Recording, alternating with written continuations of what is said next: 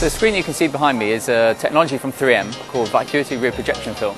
And it's a film that can be applied to any glass window, such as the, the, the storefront that we've got here, and turn it into a super large uh, advertising screen.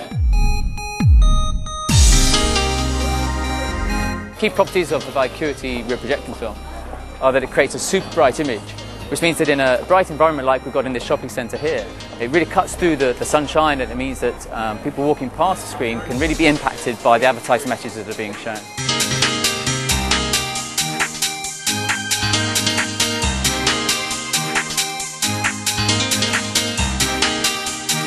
What we have here is an installation by Windowgain.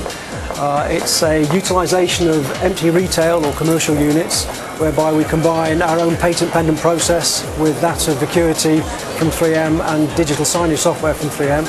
Uh, and what we've created here is a advertising hoarding.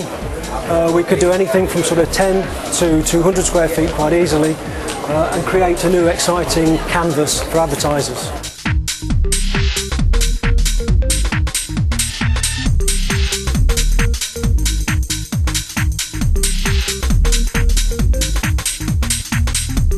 I just walked past it, very eye-catching, caught my eye.